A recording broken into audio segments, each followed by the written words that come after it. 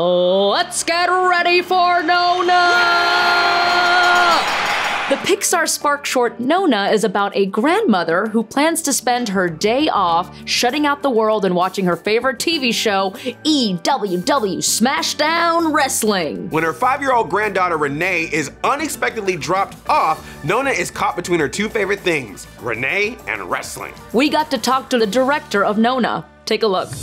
Louis Gonzales, welcome to the show. Thank you for having me. So tell us about your history as an artist and what led you to be a story supervisor at Pixar. When I was young, I knew I wanted to draw for a living. I didn't go to art school and I didn't have anybody in my family that was an artist. You know, I just was, you know, I just wanted to draw all the time. And so my mom and dad, they worked in uh, LA Unified School District. They drove buses, and so they'd bring home these reams of like green and white paper that they used to use, you know, that that were they would throw away, and they would bring that home for me to draw on. So I would sit there and draw on these long pieces of paper and tell like these long, you know, stories of battles fought. It was just a place to lose myself, you know, and it was a beautiful thing, and it still is because I feel like I'm so lucky to have started there. That excitement that I felt when I was a kid, drawing, you know, what I thought was the coolest stuff ever.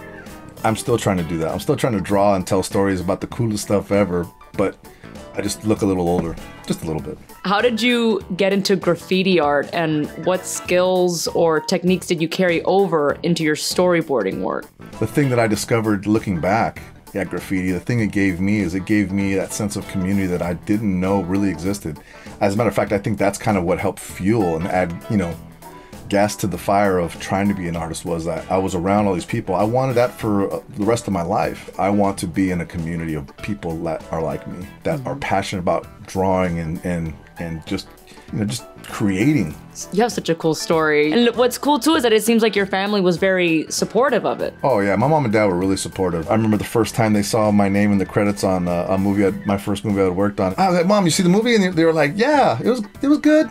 My sister then calls me, or you know, and she's like, man, mom's over here talking our ear off about the movie that you were in and da da da da, and like how much she's so proud of you and all this.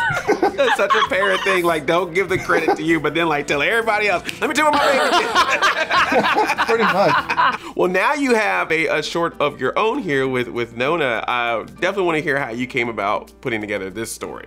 The way the story came about was, you know, you kind of have this character that's exciting or interesting. You know, it's like I had this thing that I had this tough grandmother that loves wrestling. I really only have one memory of my grandma and I talking about wrestling. I'm at a holiday thing, I'm kind of by myself, and my grandma's like, hey, you like wrestling, right? And I was like, yeah, I love wrestling, grandma.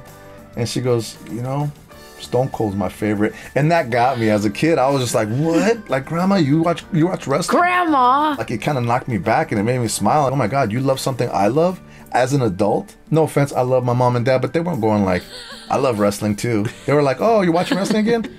Great, go to bed. Yeah, school tomorrow. You know, and that was it. They were being parents, but my grandmother was like doing the grandma thing. It was a connection that I just never forgot. Always sat with me. And I have those connections, right? We think we all do. Someone just shows you a kindness someone just comes in and, and without warning goes, Oh, you like that? I like that too. And all of a sudden, you know, like the walls drop because someone took an interest in you. I actually watched wrestling a lot too growing up, but no one really knew about it. I just watched it in my little TV. Meanwhile, I'm the kid in your short that's like, let me turn to the cartoons. Yeah. so that's it though, right? And that's what I would hope for is that there's something for everybody because like I feel like I should be telling stories that Mm-hmm. Have a truth that are trying to connect people, you know, trying to connect us. That is the dream for me. Do you have a favorite Pixar feature that you've worked on? I think my top my top project really was Ratatouille.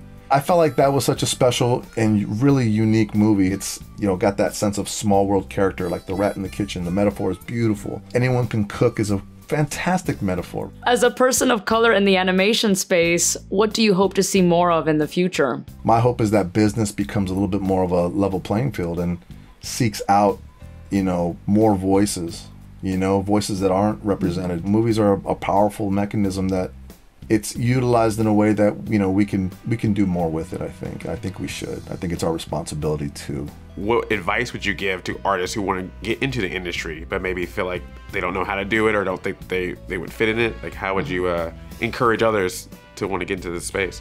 My biggest advice is just be open to it, you know? Whatever it is that you think you want to do, as an artist, it's better to be open and take more in.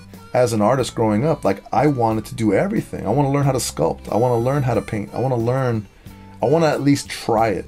all of it comes together. Like none of it is wasted. Like any time you spend doing something in your life is not usually wasted. What do you want your audience to leave with after they watch the Pixar Spark short Nona? I want them to take away that that idea that, you know, connection between generations or connections between people is important. Thank you so much. It's been such a pleasure to talk to you and to hear more about your story, which is amazing, as well as hearing about the Pixar Spark Short Nona, which can't wait to see it. Thank you so much. Thank you, Andre. Thank you, Jenny. Stream the Pixar Spark short Nona now on Disney Plus. Also, watch how these two new Pixar Spark shorts came to life in the documentary A Spark Story, launching exclusively on Disney Plus this September.